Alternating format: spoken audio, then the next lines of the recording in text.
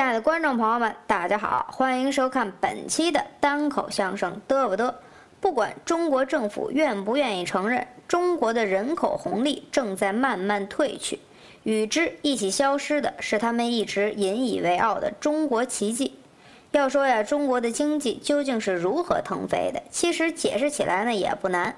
一开始老毛时代喊着发展重工业，给人家苏联做加工厂。那时候凭借着人家的技术和支持，干的是热火朝天。后来这不跟人家老大哥掰了吗？工厂被撤资，大批的工人没有地方去，于是有了上山下乡，把壮劳力分配回田间土地。那个时候的社会主义制度啊，是重工业、重农业的天下。但是党管一切的结果，大家都知道：工厂亏本，土地搞亩产万斤。大饥荒来了，厂子也干不下去了。随着文革浩浩荡荡的一通搅和，整个社会主义初级阶段的小试验就断送在了“毛主席万岁”的叫喊声里。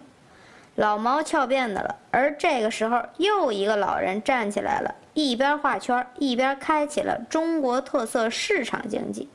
这个举动啊，放松了一直被政策禁锢的人民，也养肥了他们这群权贵自己。那时候当官从政还不能贪得那么明显，于是大批红二代下海经商，凭借着关系搞到各种垄断凭证，办着加工厂，淘到了第一桶金。凭借着人口优势、低廉的劳动力和境外势力的帮助，中国制造开始走向世界。与此同时啊，本身就摇摇欲坠的国营加工厂也被个体取代，迎来了九十年代的下岗大潮。政府啊，因为想不出如何给城里大量的失业百姓找出路，于是放任自流，无意间却催生了中国经济的第三次转型。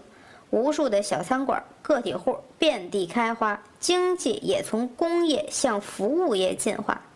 两千年的时候啊，计算机还不快。金融也没有占据主流，而后面中国经济的命脉落在了房地产身上，房价暴涨。然而因为缺乏金融投资渠道，而股市呢又见天崩盘割韭菜，造成了房地产成为了金融投资产品，具有了分化贫富的属性。此后啊，有房和没房就成了判断一个人社会等级的标志。后面的故事大家就都知道了。中国政府无数次想用金融拯救房地产做转型失败，暴雷跑路的不胜枚举。在成功的把中国的 GDP 推到世界第二后啊，房地产市场也陷入了僵局，既不能调，又找不到替代者，于是把老百姓的钱都锁在了这个局里。而随着中国政府最近的优秀表现，外资大举撤离，制造业失去了优势。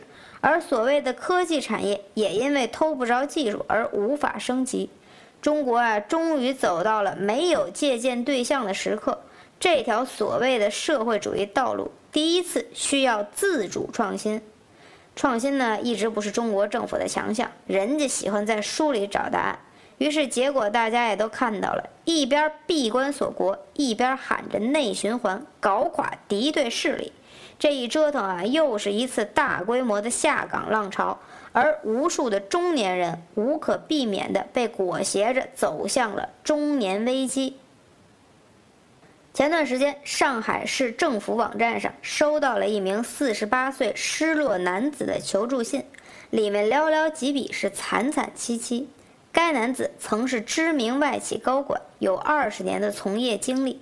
但是从一八年离职后，就再也找不到工作，因为社会上没有公司想用他，而家里有两个儿子，一个高中，一个响应二胎才上幼儿园，自主创业赔的是裤衩都不剩，如今还好能靠上海本地户口领微薄的失业金，人到中年，离六十五岁退休还有十余载，每天却只能浑噩度日。这哥们儿说啊，希望政府能给个机会，让自己报效祖国，并且称啊，他身边跟他相同经历的人还有很多，都是中年失意。上海政府还算是负责，居然真派人去跟他对接，帮他找到了职位。不过这哥们儿只做了一个月就离职了，说不符合预期。原来啊，现在企业的高强度连轴转已经让他无法适应。原来是规则的制定者，现在被卷在漩涡里当小鱼，这种落差呢，也让他无所适从。高不成低不就，就像是一句魔咒。于是他再一次选择了放弃。面对这封求助信啊，年轻人和中年人的反应大相径庭。有的年轻人一边说着“你们也有今天”，一边喊着“做什么挣不到钱，就是去工地搬砖也比领失业金体面”。你口口声声说企业不要你，那你怎么证明能比年轻人创造更多收益？而中年人则纷纷感叹：“唇亡齿寒。”今天风生水起，明天谁又能保证这个落魄失意的不是自己？网上关于中年失业、创业失败的提问很多，但是回答却寥寥无几，因为谁也不知道这艘船会驶向何方。而年轻一代防范这种风险的方法，就是一拍脑袋考公务员、进国企。然而啊，身在经济下行的中国，你从船头跑到船尾也逃不开命运。总有比你年轻的人会进来，而你也不过是社会主义阵营里一个平平无奇的螺丝钉。